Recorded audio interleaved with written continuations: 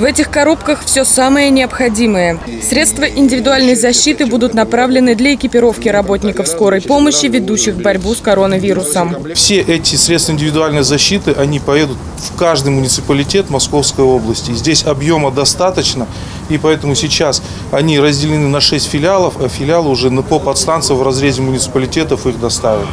Дмитрий Медведев обратился ко всем членам партии «Единая Россия» с предложением организовать акцию помощи врачам. По всей стране было собрано свыше 400 миллионов рублей, более 12 в Московской области.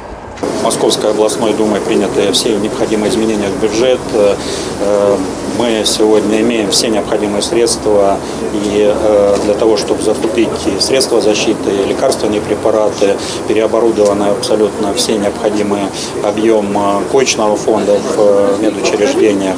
Врачи скорой помощи получат полторы тысячи ламинированных и обычных комбинезонов из панбонда, изготовленных по стандартам и требованиям Росхимзащиты и Роспотребнадзора. Столько же пар бахил, а кроме того респираторы со сменным фильтром и защитные вентилируемые очки, которые не будут запотевать во время работы. Производят такие у нас в Подмосковье. Мы э, производим средства защиты и, конечно же, откликнулись на призыв э, помочь врачам станции скорой помощи Московской области всем необходимым. Мы подобрали необходимые, на наш взгляд, лучшие э, средства защиты. Ну и поучаствовали в акции. Чувствуем от этого огромное удовлетворение и надеемся, что наш непосильный или посильный вклад сможет очень сильно помочь врачам в борьбе с пандемией. Закупка защитных комплектов проходит в рамках акции «Спасибо врачам», которую запустила «Единая Россия». Политики, артисты, спортсмены и все неравнодушные объединились, чтобы оказать медикам посильную помощь в этот непростой период. Это те люди, которые э, в первую очередь э, оказывают помощь экстренным, э, неотложным пациентам.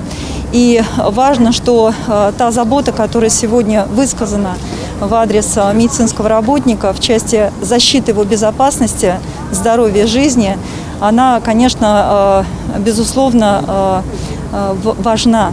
Средства индивидуальной защиты уже переданы в подстанции, чтобы в любой момент медперсонал имел возможность ими воспользоваться. Елена Морозова, Станислав Трифонов, телекомпания «Одинцова».